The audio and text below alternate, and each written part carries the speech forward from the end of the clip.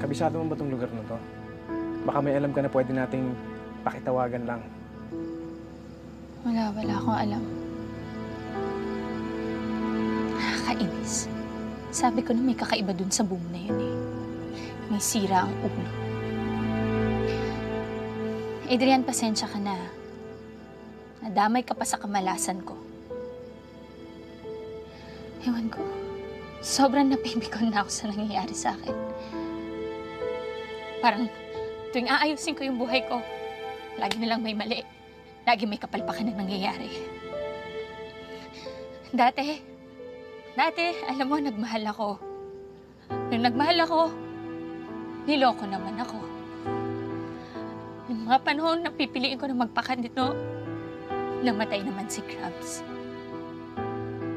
Tapos ngayon, finally, finally, mabebenta ko na sana tong farm. Pero ano nangyari? Dumating yung sitwasyon na ganito. Sana, di ba, kung mabenta ko na, babalik na ulit ako ng Australia, tapos makakapag-move on na ako. Pero hindi eh. Ito na naman. Ano bang mali? Hindi ko ba pwedeng... Hindi ko ba pwedeng maayos yung buhay ko? At hindi pa ako pwedeng sumaya?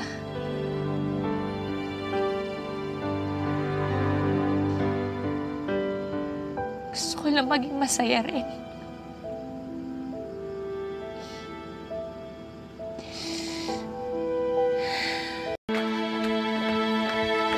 Ikaw, sandali. Sandali.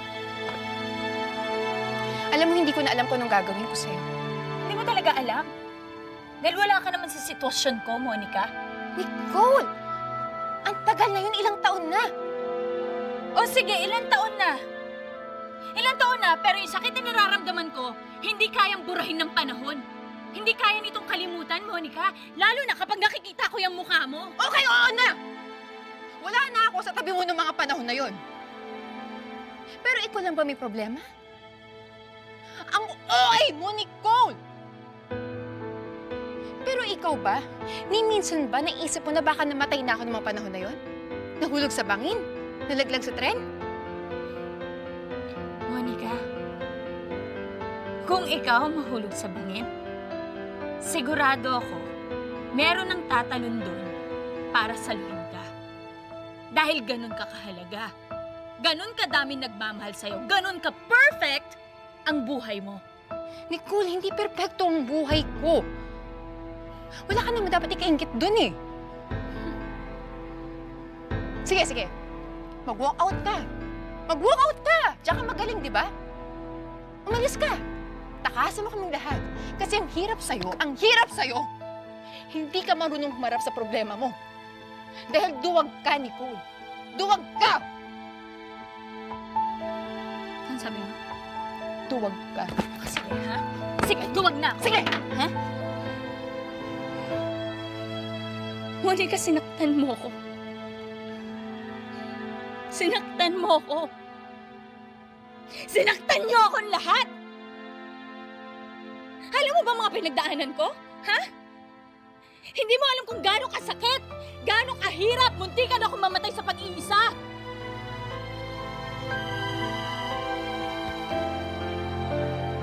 Walang namamatay sa pag-iisa, Nicole.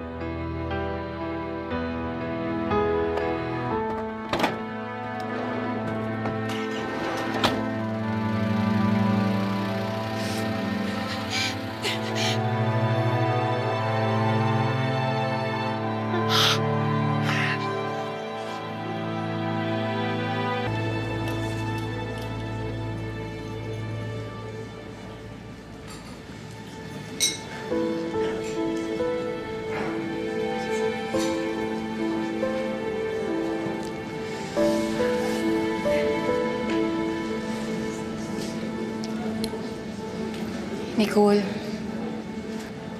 sorry sa lahat ng nasabi ko, ah. Sana alam mo na mahal na mahal kita. At kung kaya ko lang Alam mo kung pwede ko lang talaga balikan yung panahon. May kung sana nandun ako nung nawala si Grams. Sorry ah.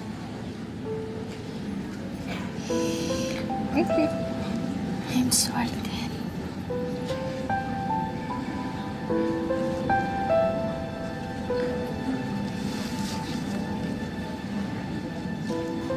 I'm sorry. Sorry kung naging unreasonable ako. Sorry kung hindi kita inintindi. I'm sorry.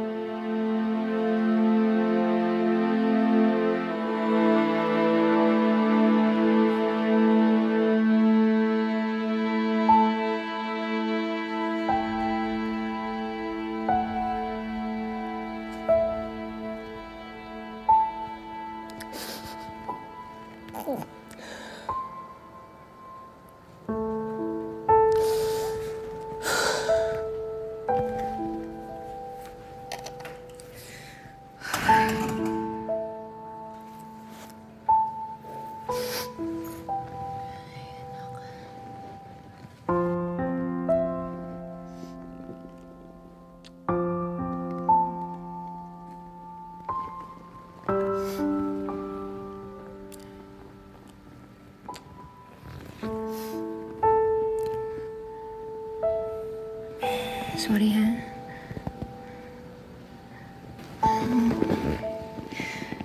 Sinubukan ko naman kasi talaga umuwi ng maaga. Kaya lang niipit kasi ako doon sa presentation eh. Bakit? May nag-away na naman. Hmm? May nagwala na naman dun sa opisina mo.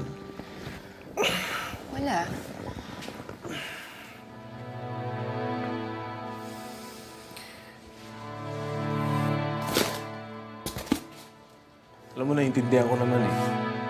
Busy ka. Marami kang ginagawa, marami kang trabaho. Kailangan ka ng pamilya mo.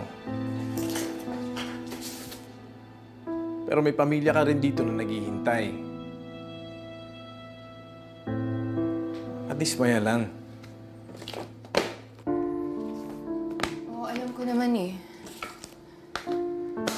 Sa akin, di ba? Sa akin ka nadidismaya. Sa'yo ako nadidismaya? Hindi. Nadidismaya ako sa sitwasyon. Tulog na lang tayo. Marami pa tayong gagawin bukas.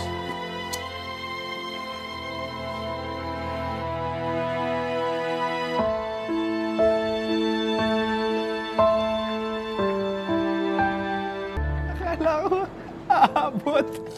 Aabot yung kasaklapan ko. Hindi. Mas masaklap yun sa'yo. Kaya nga ako labanan ng pasaklapan, ha? Wala ka, Adrian. Ako ang champion. Ako, hindi ikaw. Trophy mo. Sa'yo na.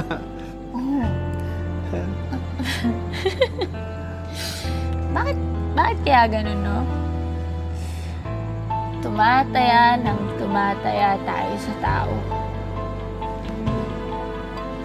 Yung thinking and hoping na mamahalin ka rin nila pabalik. Yung umaasa ka na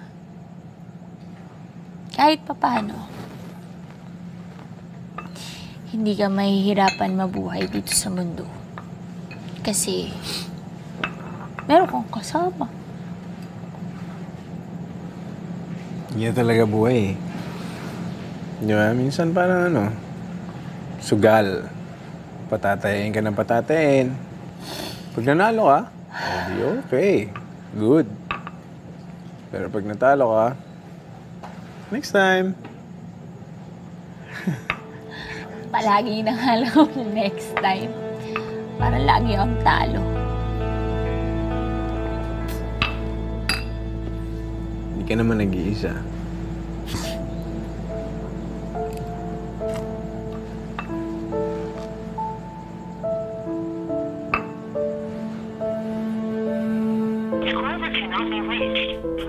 Can we?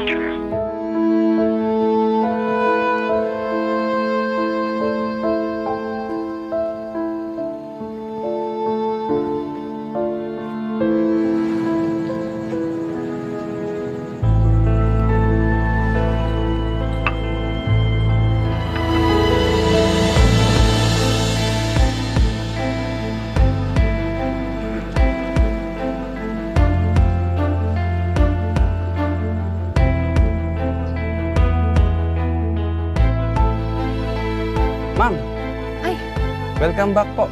Ginagabi po kayo ah. nandiyan pang ma'am ni Kuya mo? Andito po sila. Kasama po yung mister niya. Na- Nandito sila? Opo, ma'am. Ando po sila sa may restaurant, malapit sa beach. Salamat ah. Sige po, ma'am.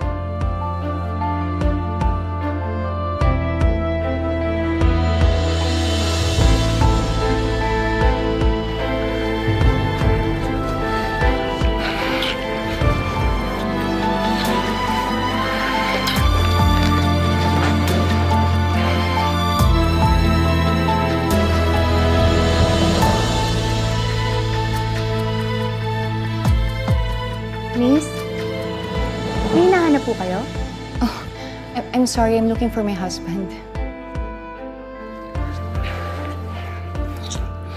Si Miss Nicole at Sir Adrian ho ba?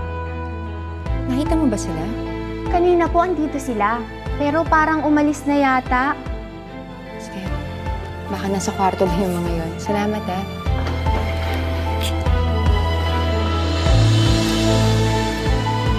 Miss? Kakagaling ko lang din doon. Pero parang wala sila doon.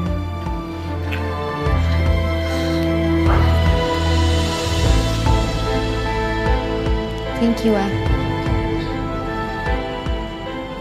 Miss? Ingat ka. Maraming magnanakaw dyan sa labas. Sorry ha, pero pangalan pa lang hindi ko na-type. Diba? Sa kanila yung babaeng yun, kung makalingkis talaga sa asawa ko, naku, daig pa yung higat sa linta, combined.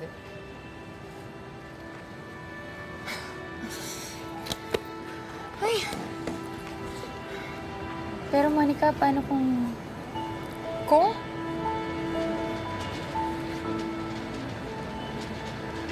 Kung si Adrian, naglolo ko.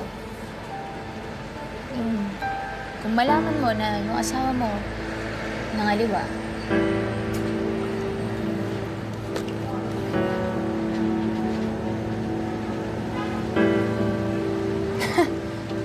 Hindi ako lulukoy ng asawa ko, no? Mahal na mahal ako noon, saka alam ko hindi niya kaya gawin sa akin.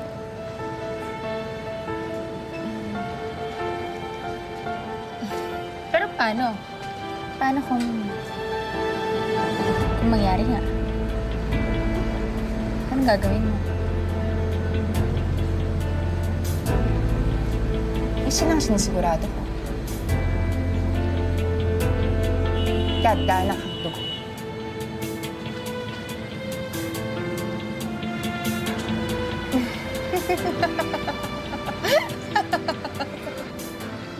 Natakot ka, no? Ha? Bakit naman ako matatakot? Ay, nako.